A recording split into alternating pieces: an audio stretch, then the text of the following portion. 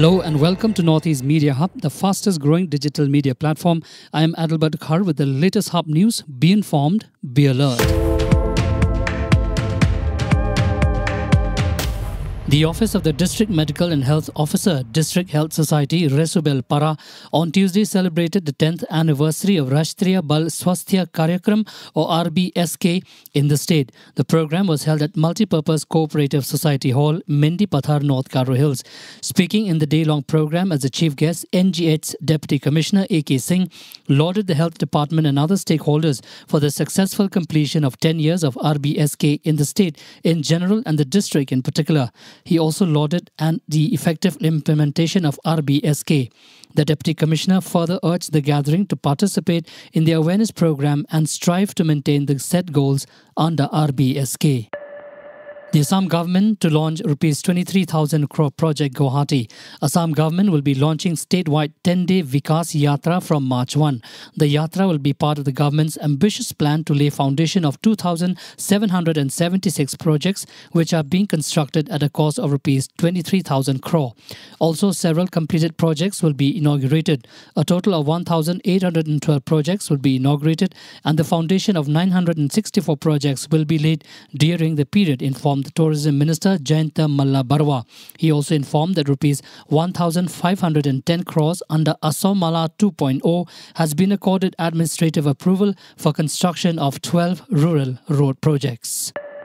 Assam has declared Kaji Nemu or the citrus limon as the state fruit of Assam. State Agriculture Minister Atul Bora on Tuesday made the announcement. On the seventh day of the budget session of the Assam Legislative Assembly, Minister Atul Bora stated that this announcement will definitely shine the fruit on the global map and also boost the self-dependency and production of the fruit in the state.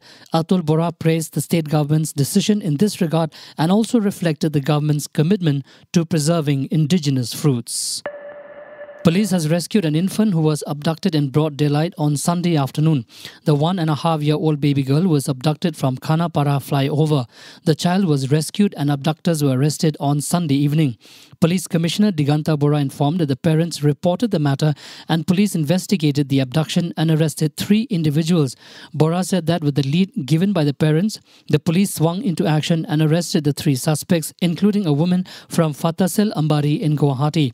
The kidnapping plan was hatched by a woman who resides in Fatasil Ambari. Police has registered a case against the accused trio. Prime Minister Narendra Modi is visiting UAE and Qatar to attend various programs which is aimed to deepen India's bilateral relations.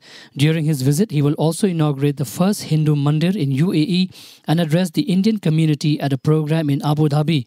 I am traveling to the United Arab Emirates on an official visit from 13 to 14 February and to Qatar from 14 to 15 February. This will be my seventh visit to the UAE and second visit to Qatar since 2014. Over the last nine years, our cooperation with UAE in diverse sectors such as trade and investment, defense and security, food and energy, security and education has grown manifold. Our cultural and people to people connect is stronger than ever.